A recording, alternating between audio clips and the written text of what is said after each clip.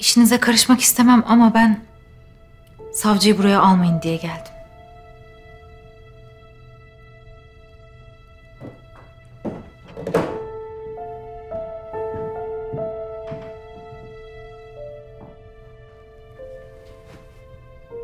Bilmediğin bir şey mi var? Hala rahatsız mı ediyor? Güvenmeyin o adama. Ben çalışanlarımın yüzde 99'una güvenmem. Adamına güvenmeyeceksin zaten. Kendine güveneceksin. Sen o gece, o savaşla tartıştığınız gece bana bir şey söyleyecektin sanki. Savaşla aranız nasıl? Hayrola ya? Bunu benim sormam lazım. Sen bir şey mi duydun? Bir şey mi biliyorsun kızım? Bir durum mu var? Yok hayır. Şirkete gelmiyor bırakacağım demişti ya merak ettim o yüzden. Savaş e, şirkette kalmayı kabul etti. İşleri düzeltmeye çalışıyor. Takip ediyor. O adamın ikinize de bu kadar yakın olması beni korkutuyor. Eline geçirdiği her sırrımızı bize karşı kullandı. Bu mu? Bak sen eğer karın ağrını bana söylemezsen ben senin derdine çare bulamam ki. Turan Ersoy'un başına gelenler sizin de başınıza gelecek diye korkuyorum. Size de iftira atacak diye. Bir şey mi duydun kızım? Bak adamı deli etme. Söyle bir şey biliyorsan. O, o adamın hırsı doymayacak. Verdikçe daha fazlasını isteyecek bir vampir. Onu ailenizden uzak tutun. Sırlarınızdan da. Hepimiz için.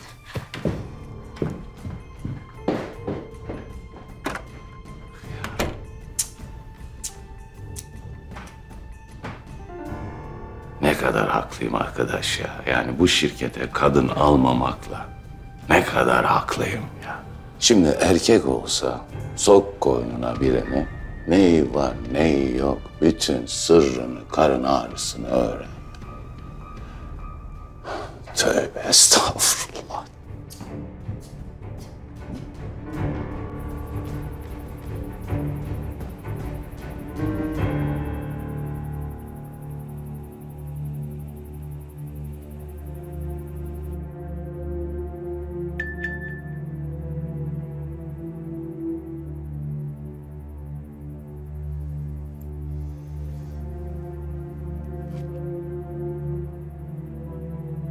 Kazaydı.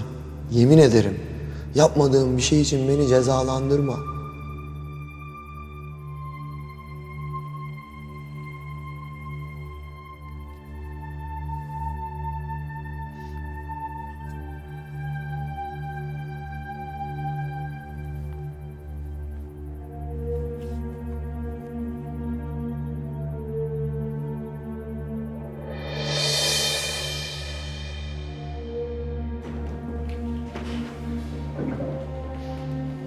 Aradığınız kişiye şu an ulaşılamıyor. Lütfen sinyal sesinden sonra.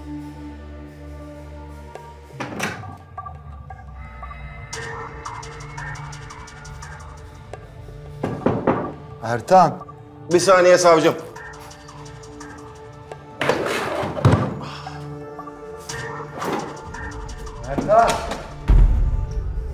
Üstümü değiştiriyordum savcım.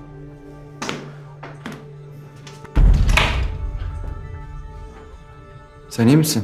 İyi. Üçlü Tekinler nerede? Yolda. İyi bu kağıtçıyı iyice tembihledin değil mi? Paniğe kapılıp abuk subuk bir şey söylemesin. Yok yok merak etmeyin. Parasını alacak, istediğimiz yapacak. E, ailesiyle falan iyice tehdit ettin mi? Tabii tabii merak etmeyin.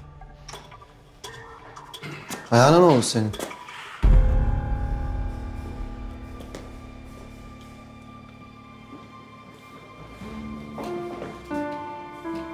Savcım, Geçmiş olsun komiser.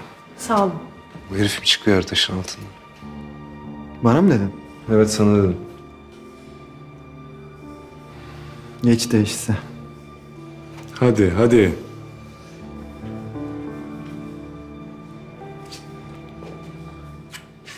Sen daha kötüsün ya.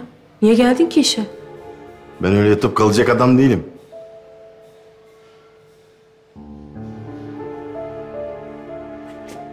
Pantolonunu değiştir. Ayakkabıda kan var. Temizle onları.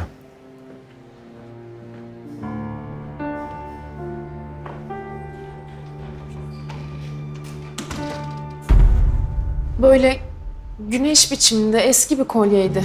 Emin misiniz burada olmadığını? Hiç gelmedi öyle bir şey. Satılmış falan olabilir mi peki? Uzun zamandan beri rehine mücevher almıyoruz. İyice bir düşünseniz. Bir kadın polis getirmişti. Burcu komiser. Hastanenin karşısındaki kuyumcu demişti bana. Var mı sizden başka bir kuyumcu peki buralarda? Bizden başka kuyumcu yok burada. Anladım. Annemin hatırasıydı. Çok önemliydi de benim için. Teşekkürler. Bir şey değil.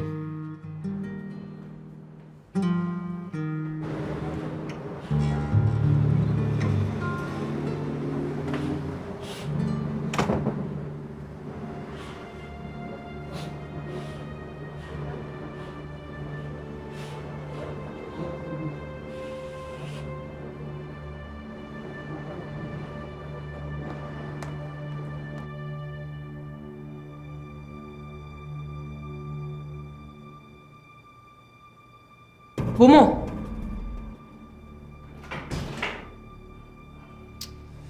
Daha iriydi eminim. Sana öyle gelmiş olmasın. Sen ne demeye çalışıyorsun ya? Adam seni indirince belki boyu uzamıştır diyorum. Siz böyle komedi ikilisi falan mısınız? Canımı sıkma benim. Sıkarsam ne olacakmış? Tamam. Yeri değil. Karanlıkmış. Olayın gerginliği de vardı. Bir daha bak iyice. Ya bu zavallının hali mi var bu değildi. Mobese kayıtlarına göre adam bu.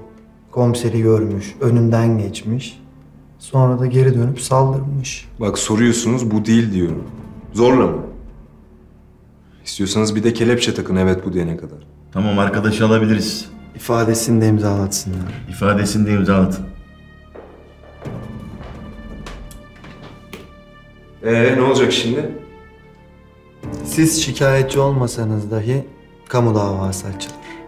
Orada da mobeseler dikkate alınır. Madem bir işe yaramayacaktı benim gelmem. Niye geldim ben buraya?